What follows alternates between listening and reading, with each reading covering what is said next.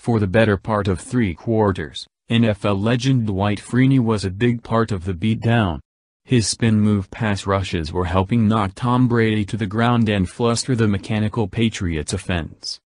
But at the end of the night as New England topped Atlanta 34-28 in OT, the 36-year-old was just as confused as anyone, a part of something that he's never seen in his 15 NFL seasons. Mind-boggling, Freeney told WXIN TV in Indianapolis. Mind-boggling. We had our opportunities. We basically shut them out in the first half.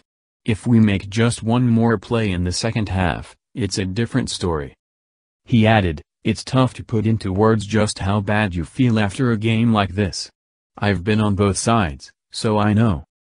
But the perspective gained by age, and winning and losing Super Bowls before this, didn't seem like enough to help Freeney explain away what happened on Sunday. In a conversation with NFL Network's James Palmer, he was not quite ready to talk about the future and whether he would try to come back for a 16th NFL season. He said the decision to return next season will not be emotional, but after Sunday how could it not be? Players with a mean competitive streak would keep coming back into their 40s to erase a memory like the one provided by the Patriots. Although sometimes, it's better to let the mind-boggling stay that way.